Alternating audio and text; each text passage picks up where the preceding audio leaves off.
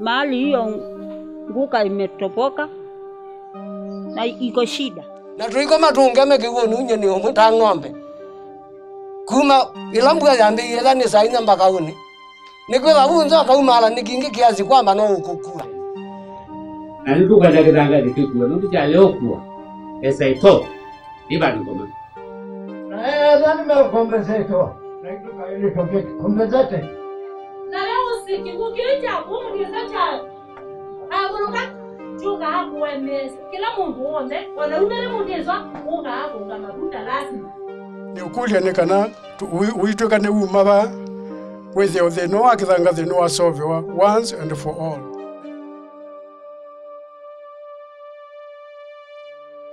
This is Mutiswa location, Mbitini Ward in Makueni County.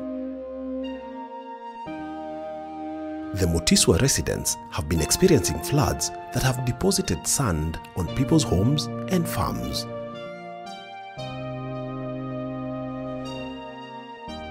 Through these sand deposits, Motiswa residents are at risk of losing what they treasure most. Si tunaogopa tu kwenda na hii m- nini hii- hii garis unalikile kithanga the guonthe ona ndinei hii itaenda itakuwa hapo hapo hapo, lakini maji ikikuja mingi itabeleka, Ndio tunataka kambioni niwekwe maji kuja kidogo isimame. isimame.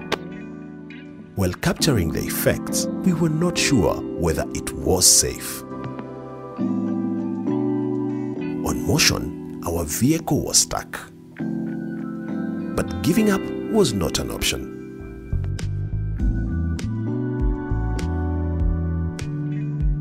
Thina wa thio thia nila kwambia kua vai mundu wona ato uona imwe ni maamukanga na mundu ekala nza naambio bangithia kibeti undu kiutulia chindu kuma tu nundu kiwe nichokite nyumba Wakati maji yanaanza area hii, sisi hatulalangi, tunatoka nje, tunakaa, tukiona inakuwa nyingi, tunapanda miti. Na watu wengine kama mimi sina miti, miguu yangu sina miguu, miguu yangu imeharibika.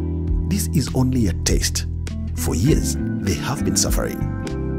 Some farmers have lost livestock, hiyo nguka na iko shida, kwa sababu mbuzi zangu ikikula hapo, ikiingia hapo iwezi toka while others are losing their land every single day.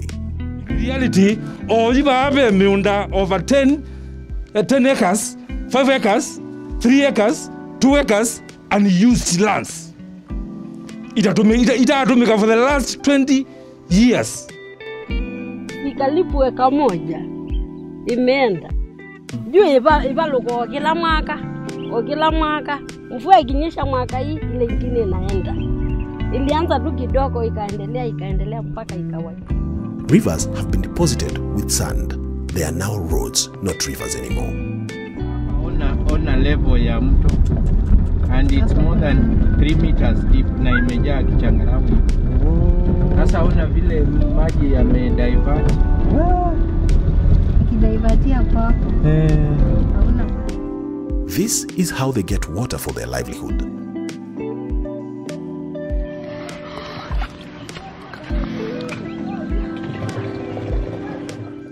In the year 2006, a plan was made to rescue them. 06 uh, governor wetu Kivutha Kibwana akiwa MP alikuja akatupatia ruhusa ya kuuza mchanga. Eh, Hii river inaitwa kwa Ngesu. Unfortunately, the residents were shortchanged by their community leaders before the Makueni Sand Act of 2015. na akapatia kikundi ya hii area na wakauza hiyo mchanga, lakini ile mpango ali, walikuwa wameambia MP watafanya kujenga shule na kufanya conservation, haikufanyika. I would say that happened because we did not have an act that would guide how sand is being harvested and what happens to the process of this sand. Therefore, members of the community stopped the plan to buy time for a second liberation that would be free from favoritism and exploitation.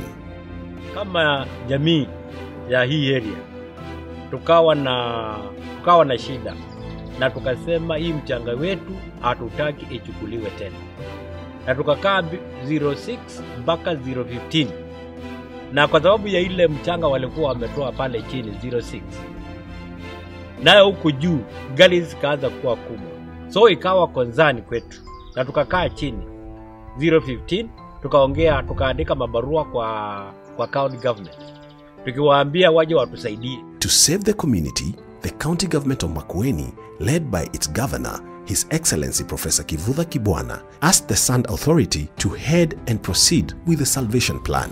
working with the county government and working with the national government administration. We have a series of meetings agreeing on the modalities uh, that should be used within the confines of the, of the law that we have to make sure that the, the issue is being addressed. nũndũ wethĩwa ku kwĩna matwĩku matĩ na thĩĩna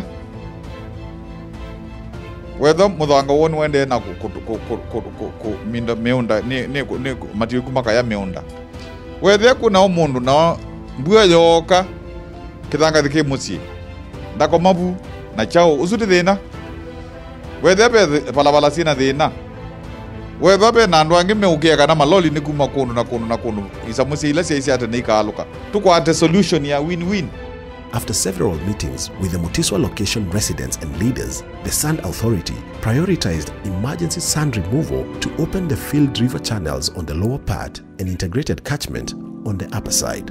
They're suffering because of the, the, the issue. Only their suffering is different. One is through flooding, the other one is through huge gullies being formed. But they all suffer.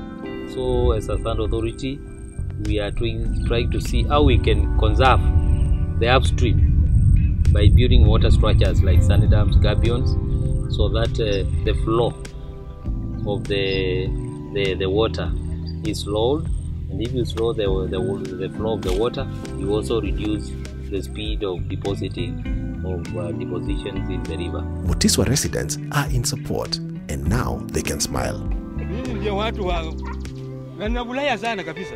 Hii program we welcome it na tunaona itatusaidia sana. So what the government has decided to do, I think it is right. Kwa hivyo nawaambia tafadhali waje, serikali isaidie sisi. The process will take years. People's funds are there. The hills are also really eroded because they're bare. So we set up a, a program where the community is able to do certain things on their farms where they, they plant uh, trees and then we also do riparian conservation and eventually probably also do hilltop uh, conservation. The depositions have been deposited for quite a long time, and we are hoping in the next three years we will be able to see the results of the activities we are doing now. A journey of a thousand miles starts with a single step.